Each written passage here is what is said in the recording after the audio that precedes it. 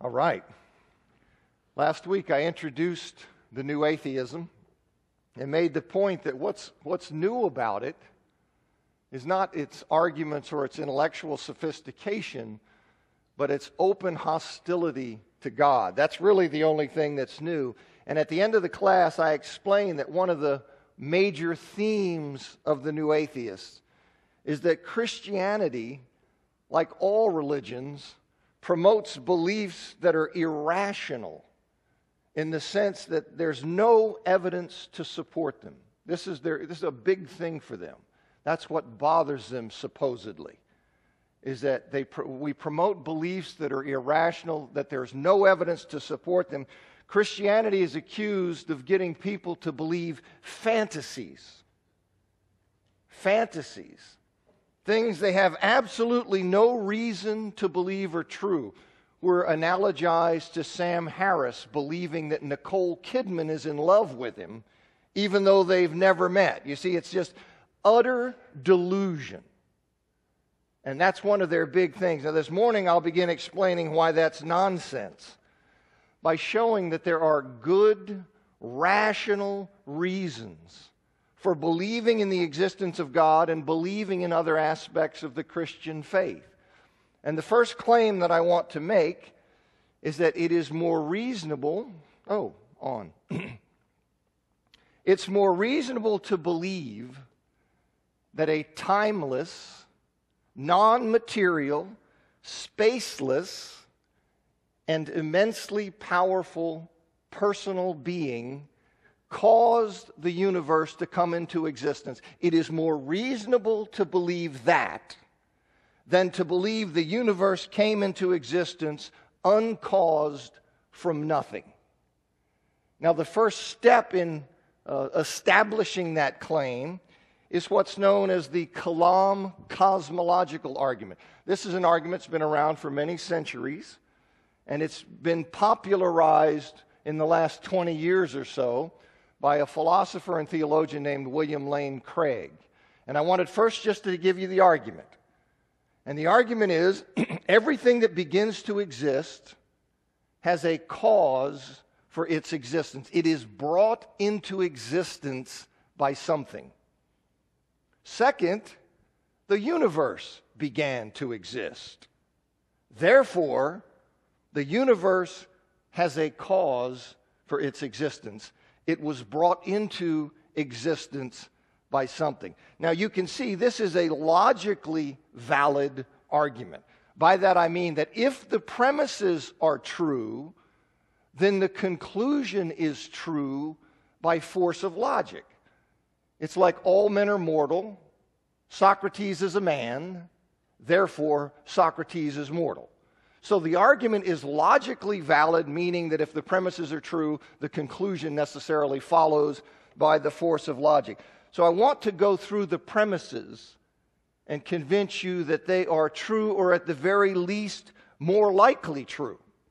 So the first one is everything that begins to exist has a cause for its, existence. As expressed in the ancient Latin adage, ex nihilo nihil fit, from nothing, nothing comes.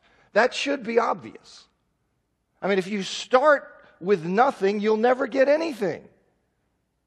And the reason you'll never get anything is that something can only come into existence if something causes it to do so.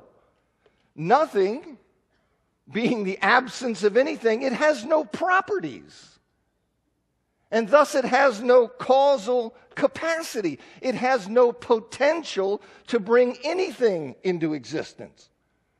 As put by the noted 17th century British philosopher John Locke, man knows by intuitive certainty that bare nothing can no more produce any real being than it can be equal to two right angles. You just understand that if there is nothing, it can't create and cause something to come into existence. If things can just pop into existence from nothing, there's no reason that wouldn't happen all the time. If that's possible, there's no reason it wouldn't be happening all the time. If things don't need a cause for coming into existence, what's to stop anything and everything from popping into existence? But the uniform experience of humanity is that this doesn't happen. None of us fear that a tiger will appear out of nothing in the seat next to us. None of us fear that because we know that, that nothing can produce nothing. Now, the claim, now when you say this, most people accept this, most people understand that. But there are some people who want to resist this first premise, and typically what you'll run into is that they will bring up virtual particles from quantum mechanics. They'll bring this up and they'll say, look, they will claim that, look, on the subatomic level, you see, they'll argue, no, no I, I have a counterexample to that. I have a counterexample that shows that there is, in fact, a case where something comes into existence uncaused. It comes into existence uncaused by anything. And they speak of virtual particles, and they say, look, that on the subatomic level, quantum physics shows that so called virtual particles that they blink into existence spontaneously in a way that's not determined or necessitated by a prior state. Well, I'm here to say to you that that is not a counterexample. That is not an example of something coming into existence out of nothing without something causing it to do so. And I say that's not a valid counterexample, first because virtual particles may not really exist. In the first place, you see, it's far from certain that virtual particles really exist. They are undetectable and are argued by many people to be only theoretical constructs, instruments to give an intuition to mathematical rules. Robert, Robert Weingard made that claim in 1982 in an article, Do Virtual Particles Exist? 2002, the philosopher of science Tobias Fox, haunted by the specter of virtual particles. And the renowned physicist and philosopher of science, Mario Bunge, I'm not sure how to pronounce his last name, himself an atheist, he wrote in his 2012 book, Evaluating Philosophies, what is the science, what is the status of the virtual particles occurring in theoretical particle physics. Are they real or fictitious? This is the reply of the Stanford Linear Accelerator people.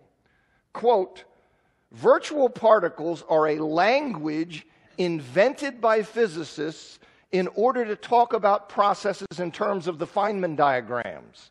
These diagrams are a shorthand for a calculation that gives the probability of a process, end quote.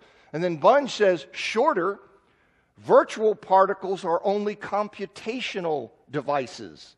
He continues to repeat, the virtual particles are fictitious and therefore unobservable. They are but artifacts invented to use Feynman diagrams. So the first thing that you have is there's a real question do virtual particles even exist? Or are, there simply, are, are they simply a computational mechanism? But second, even if they do exist, there are deterministic interpretations. I'm neither a physicist nor the son of a physicist, but I can read. You see? And so there are, there are deterministic interpretations of quantum physics, such as that of the physicist David Bohm, under which the appearance of these virtual particles is not random or spontaneous, but it only seems that way, being in fact determined or necessitated by prior conditions. Here's what William Lane Craig says about it. This is a philosopher and theologian who spends a lot of time in this world. He says, in the first place, wholly apart from the disputed question of whether virtual particles really exist at all, not all physicists agree that subatomic events are uncaused. A great many physicists today are quite dissatisfied with the traditional Copenhagen interpretation of quantum physics and are exploring deterministic theories like that of David Bohm. Indeed, most of the available interpretations of the mathematical formalism of quantum mechanics are fully deterministic. So you have to see, even if they really do exist, there are deterministic interpretations that would not have these things appearing spontaneously or randomly, but only seeming to do so. That's the second point. Thirdly, even if they do really exist, and even if their appearance is random or spontaneous, the particles don't come into being out of nothing. They don't come into being out of nothing, you see. They are, their existence, their appearance is conditioned on the prior existence of an energy laden subatomic quote, vacuum, what is called the quantum field. As Craig says, they arise as spontaneous fluctuations of the energy contained in the subatomic vacuum, which constitutes an indeterministic cause of their origination. Now, the, Emanuel Rutten, he wrote a, earned a PhD. His 2012 doctoral thesis from a university in Amsterdam, Rutten says, besides, one could argue that even in the case of the Copenhagen interpretation, and the Copenhagen interpretation of quantum mechanics is the one under which their appearance is considered random or spontaneous, as opposed to one of the deterministic theories of someone like David Bohm. Okay, so he says, besides, one could argue that even in the case of the Copenhagen interpretation, Virtual particles do not pop into existence wholly uncaused, for they originate from the quantum vacuum, which is an object itself. So that on a non Aristotelian view of causation, one could adequately hold that these particles, although not having an efficient cause, causa efficiens, have a proper material cause, causa materialis, and are therefore not uncaused. In other words, they are dependent on the prior existence of this material.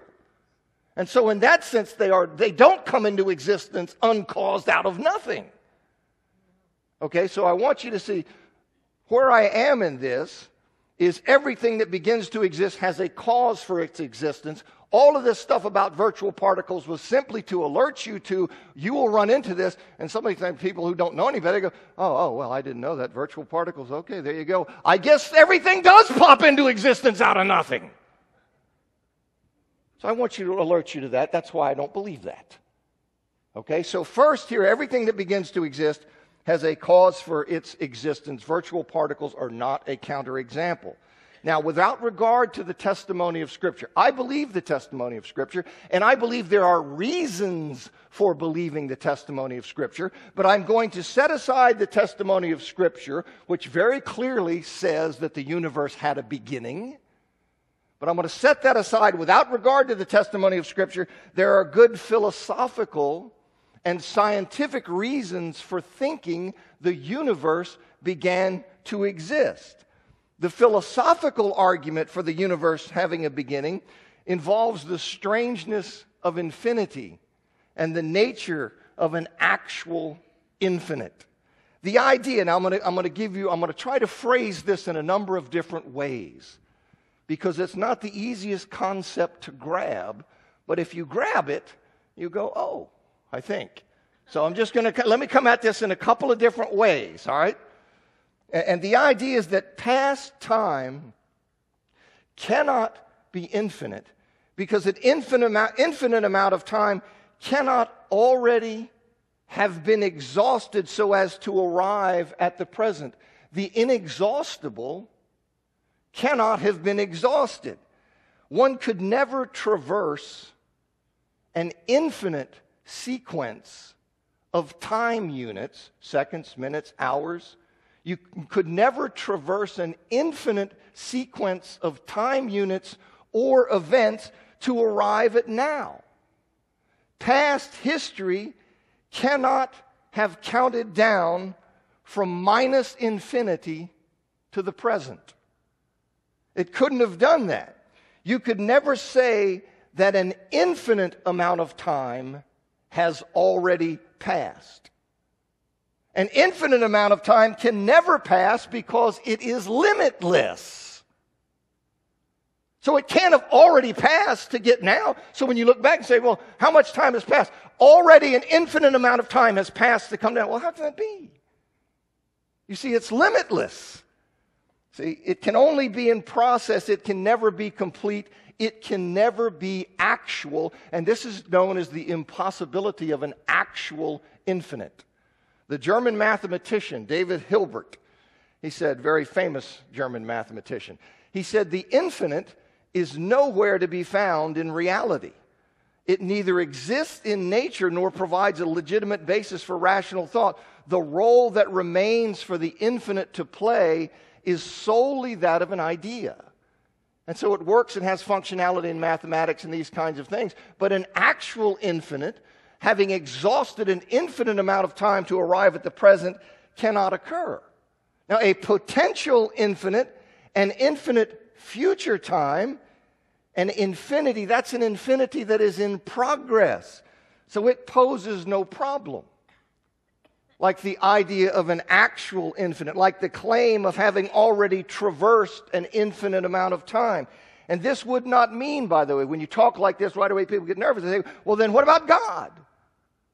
You see, this would not mean that God has not always existed, that God is not permanent, because there are ways of dealing with God's relationship to time so that he doesn't exist in a sequence of individuated moments. You see, he transcends time. He is, in some sense, timeless. He is beyond or outside of time. So there are ways of understanding God's relationship to time so that this doesn't preclude his permanence. Time is a creation. And that's not just me thinking that, that's many people think that. You see, so when you talk this way, that, that would not preclude the idea of God being permanent. Now, this makes sense to me, and it makes sense, by the way, to many philosophers, but I have to say there are philosophers who are not persuaded by this. Okay? There are, there are philosophers who are not persuaded by this. This philosophical reason for thinking that the universe necessarily began to exist seems strong to me persuades many philosophers, but there are those who aren't persuaded. But what is interesting is that it dovetails very nicely with the scientific acceptance of the universe having a beginning, subject to which I now turn. Now, the scientific arguments for the universe having a beginning, they often involve the second law of thermodynamics. Okay, I hope this rings a bell somewhere in your schooling. You remember, I remember hearing something about that. But the second law of thermodynamics, which establishes without exception that processes taking place in a closed physical system, which for the atheist, the universe is, processes taking place in a closed physical system, they always tend toward a state of equilibrium. In other words, every such system will eventually run down. It will eventually run down and cease having energy available for work. That's why you can't have a perpetual motion machine. Everybody recognizes that in principle, you cannot have a perpetual motion machine because everything will eventually run down. You see, it will run down. Here's how the theoretical physicist Paul Davies expressed this in 1995. He said there are many physical processes occurring in the universe that proceed at a finite rate and are irreversible. For example, the formation and death of stars and the emission of starlight into space. You can't run these processes backwards. But if the universe is infinitely old, then these irreversible processes would have all run their course by now, and the entire universe would have reached its final state. But that hasn't happened yet. So the universe can't have existed forever. We know there must have been an absolute beginning of finite time ago. Now, the attempts to get around this conclusion, you can imagine people don't like this conclusion. But the attempts to get around this conclusion of an absolute beginning, they have not been persuasive. Now remember, I've got people telling me that I'm a complete airhead for believing God exists. You have absolutely no reason to think that. You're delusional for thinking that. Well, we're going to see where the delusional shoe fits. Okay, so here we have, they, there are attempts to get around these, but these attempts have not been persuasive. January 8th of 2012, there was a meeting of world class cosmologists at Cambridge University in honor of physicist Stephen Hawking's 70th birthday. That gathering was called the State of the Universe. And the report of the event in New Scientist magazine by Lisa Grossman, it was reported three days later. That report was titled, Why Physicists Can't Avoid a Creation Event. And here's what Ms. Grossman said. While many of us may be okay with the idea of the Big Bang simply starting everything, physicists, including Hawking, tend to shy away from cosmic genesis. Quote, a point of creation would be a place where science broke down. One would have to appeal to religion and the hand of God, end quote. Hawking told the meeting at the University of Cambridge in a pre recorded speech. For a while, it looked like it might be possible to dodge this problem by relying on models such as an eternally inflating or cyclic universe both of which seem to continue infinitely in the past as well as the future.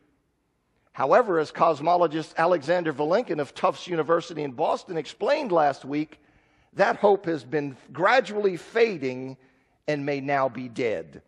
He showed that all these theories still demand a beginning. Now, the editorial that accompanied that article, the editorial in New Scientist, that was titled the Genesis problem. And that editorial in The New Scientist included this The Big Bang is now part of the furniture of modern cosmology, but Hoyle's unease, that's Sir Frederick Hoyle, unease has not gone away. He didn't like the idea because he, he wanted a permanent universe. Many physicists have been fighting a rearguard action against it because most of them accept it. But you've had some people over here trying to get around it. Many physicists have been fighting a rearguard action against it for decades, largely because of its theological overtones. If you have an instant of creation, don't you need a creator? Cosmologists thought they had a workaround. Over the years, they've tried on several different models for the universe that dodge the need for a beginning while still requiring a big bang. But recent research has shot them full of holes. It now seems certain that the universe did have a beginning. Now, this is, this is the science people. They're not considering the philosophical argument. They're looking at the, this is a science thing. Now, the September 2013 issue of Discover magazine had an article about Alexander Vilenkin. Now, by the way, Vilenkin is a theoretical physicist, cosmologist, and professor of physics and director of the Institute of Cosmology at Tufts University. I mean, he's a bigwig when you're talking about cosmologists. But they had, a, they had an article about him titled What Came Before the Big Bang. This is in September of 2013. And it's included this. Indeed, says Vilenkin, among all the ideas we've thought of so far for a universe without a beginning, none of them seem to work. So the answer to the question of whether the universe had a beginning is yes, it probably did. You see, and he has probably is designed simply to leave room for some new idea or argument. He's not going to say that it's metaphysically impossible for somebody to construct an argument or something, but he's saying everything that I see now, yes, it had a beginning. Now, it remains possible. It remains possible to construct completely speculative mathematical models of an eternal universe. But those models, they all depend on, on unverifiable assumptions, which they all do. So, in other words, I'm going to assume something about de Sitter space. Well, can we know whether that? No, you can't know that, but I'm going to assume that. Okay? So they all include these unverifiable assumptions. They all wind up, by the way, with mysteries of their own. And they all have what Vilenkin and others say amount to a kind of beginning anyway. They amount to a kind of beginning and they are contrary to what the current evidence suggests. For example, the atheist cosmologist Lawrence Krauss, who's one of the new atheists, he said the following. He had an, this exchange with William Lane Craig in August of 2013. Krauss, I would agree that all the evidence shows, let's look, let's accept that fact. Craig says, all right. All the evidence suggests our universe had a beginning. Craig, kind of surprised. Oh, okay. he says, but we don't know. That's what I keep telling you. Knowing and suspecting are two vastly different things. So he acknowledges, you see, that it is in keeping with the very best evidence to conclude that the universe had a beginning. He just maintains that it's not metaphysically certain. It's not absolutely certain that there is some, there's some theoretical wiggle room. Now, of course, he's, he's ignoring the philosophical argument that there necessarily is a beginning. He's ignoring that that aspect of it, the philosophical argument about the impossibility of an actual infinite. But even with that, you see, here's the argument, the Kalam cosmological argument. If the premises of a logically valid argument are more likely true than not, then the conclusion of that argument is more likely true than not in which case it's certainly not irrational. It's certainly not irrational to accept the argument's conclusion. On, on the contrary, that is the reasonable and rational thing to Who's sitting in the reasonable seat? See, who's sitting in the reasonable seat? Says, well, you know, that's, I gotta say, all the evidence looks that way, uh, looks that way, right? But you know, it might be possible somehow, some way, someday. Okay, you know, but, but who's being reasonable about it? Certainly, you can't accuse somebody who draws that conclusion of being irrational, you see? And as you'll see in, the, in a minute, if it's reasonable to think that the universe had a cause, it's reasonable to think that cause has a number of attributes associated with God. After a lengthy discussion of these issues, cosmological stuff, these issues and claims, here's how Robert J. Spitzer, who's a philosopher who's done a lot of work in this area, here's how he summarized the current state of scientific evidence on whether the universe had a beginning. This is from his 2010 book, New Proofs for the Existence of God Contributions of Contemporary Physics and Philosophy.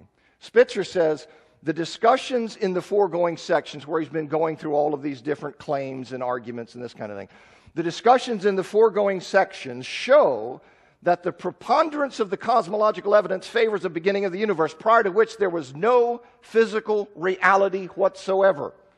The beginning of physical reality marks the point at which our universe came into existence. There are currently no truly satisfactory alternatives to this beginning of physical reality. In view of the extensive applicability and preponderance of evidence for a beginning of the universe and the narrow and tenuous path which must be taken to get around it, he says it can be concluded that the evidence currently supports a reasonable likelihood of a beginning, a point at which the universe came into existence. Now, let me say, I do not believe the standard Big Bang model or any of the proposed eternal cosmological models, I do not believe they are true. Because I believe they contradict Scripture. They are inconsistent with Scripture. But the point is that there's broad agreement, even in the secular scientific world, that the universe had a beginning. And that belief doesn't depend on any religious convictions. It doesn't depend on believing that the Bible is true. That's the point. Here's what theoretical physicist Paul Davies said in 2002. Today, few cosmologists doubt that the universe, at least as we know it, did have an origin at a finite moment in the past. John Lennox, who's a professor of mathematics at Oxford University, said, There is therefore a remarkable consensus of opinion nowadays that the universe had a beginning. Alister McGrath, who's a professor of science and religion at Oxford University, wrote in 2009 It is now widely agreed that the universe had a beginning. So even if one rejects the philosophical argument that the universe necessarily had a beginning based on the impossibility of an actual infinite, there's still a broad scientific consensus that the universe did in fact have a beginning, and given the strong, rational, and reasonable conclusion that the universe had a beginning, there necessarily is a cause for its existence. Everything that begins to exist has a cause for its existence, virtual particles notwithstanding. See, not a counterexample or the claim about virtual particles. Everything that begins to exist has a cause for its existence. The universe began to exist. Well, therefore, the universe had a cause for its existence. Now, beyond that, the universe had a cause for its existence, but you can then understand that that cause is necessarily outside the universe. It's necessarily outside the universe. It couldn't be part of the universe because it caused the universe. It is independent of the universe. And a cause that is outside the universe and independent of the universe, we can infer certain things about that cause. We can infer a number of things about that cause. A cause that is outside of the universe and that which brings the universe into existence is a cause that is non physical, that is immaterial, non material, and spaceless, powerful, and in some sense, timeless. It's non physical because matter, energy, and space are part of the created universe and thus didn't exist prior to its existence. So here we have something outside the universe, and the universe is matter, energy, and space. So this thing that's independent of the universe is not matter, energy, and space. So we can infer that from the fact it's outside of an independent of the universe. It's powerful because it created the entire universe out of nothing. So it's, it's powerful and it's beyond or outside of time because time, as we know and experience it, is itself a property of the created universe. That's why the universe is called the space time universe. So it's interesting. We now have a cause of the universe, of the space time universe. And this cause is outside of or independent of the universe, and therefore it is non physical, immaterial, spaceless, immensely powerful. You see, it is, it is immensely powerful and it is timeless. Well, that's interesting. Moreover, it's personal. You say, well, how do you get to that? How do you get to this idea? You got to hang with me on this. This non physical, timeless, amazingly powerful cause of the universe is most reasonably understood to be personal rather than some kind of impersonal force or impersonal set of conditions. You see, if the cause of the origin of the universe, if that cause were an impersonal force or an impersonal set of conditions, it would be impossible for that cause, that force, or that set of conditions to exist without its effect, the universe also existing they would necessarily be coexistent because when that cause or force or conditions existed, their effect would come into existence. You see, they would come into existence. And since the cause of the universe is timeless, because this is the space time universe, it is outside of the universe, it is timeless, is permanent, then the universe, you see, would also be permanent. Right? Because if we have this cause of the universe, if it's impersonal set of conditions or a force, and therefore when it existed, its effect would exist. If it is permanent, then the universe would necessarily be permanent. The universe could not have come into existence a finite time ago. Let me read you an example from William Lane Craig, how he says this. This helped me. Maybe this will help you. He says, if the cause is sufficient to produce its effect, then if the cause is there, the effect must be there too. For example, water freezes when the temperature is below zero degrees centigrade. The cause of the freezing is the temperature's falling to zero degrees. If the temperature has always been below zero degrees, then any water around would be frozen from eternity.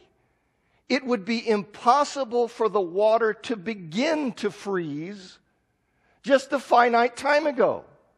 Now the cause of the universe is permanently there since it is timeless. So why isn't the universe permanently there as well? Why did the universe come into existence only 13.7 billion years ago? That's the standard big, big bang dating. You see, why isn't it, why isn't it as permanent as its cause? You see, but if the universe, you see, if, the cause is a personal being, rather than a mindless state or force or set of conditions, if it's a personal being, that being could choose. He could choose not to create the universe until a finite time ago. You see, in other words, if, if it's being created by a person, a personal being, he doesn't blindly just create. It's not, you see, if it's an impersonal force or effect, then if it exists, its cause exists. But that's not how it is with a personal being. The personal being could choose to create when he wants, and he could choose to create a finite time ago. And all of this, you see, fits squarely with traditional concepts of God as the eternal, non physical, powerful, personal being. And so I return to this. It is more reasonable to believe, reasonable, not delusional, not insane, not irrational, not throwing darts at a board, and I think I'll believe that's true. It is more reasonable to believe that a timeless, immaterial, spaceless, and immensely powerful personal being caused the universe to come into existence than to believe it came into existence uncaused from nothing. Now, Dawkins, in his book, The God Delusion, he doesn't dispute either of the premises of the Kalam cosmological argument that the, everything that begins to exist has a cause for its existence and that the universe began to exist. Rather, he says, look, even if we allow for the existence of a first cause, the cause of the universe, even if we allow for the existence of a first cause that requires no explanation for its existence, which he labels a dubious luxury. He doesn't say why he labels it that way, and he's wrong to label it that way. But he says, even if we allow for that, he says, there's absolutely no reason to endow that first cause with any of the properties normally ascribed to God omnipotence, omniscience, goodness, creativity of design, to say nothing of such human attributes as listening to prayers, forgiving sins, and reading innermost thoughts. Now, as, as William Lane Craig whom Dawkins refuses to debate, by the way. Craig was over in England begging Dawkins to debate him. In fact, Craig put an empty chair on the stand to represent Dawkins' refusal to debate him. But anyway, uh, William Lane Craig talks about, he says, what an amazingly concessionary statement that is.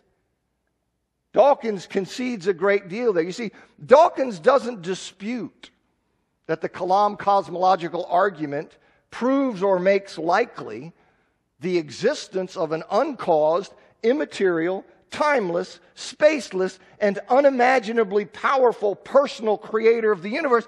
He simply says, look, it doesn't prove that this creator of the universe has all of the attributes of God.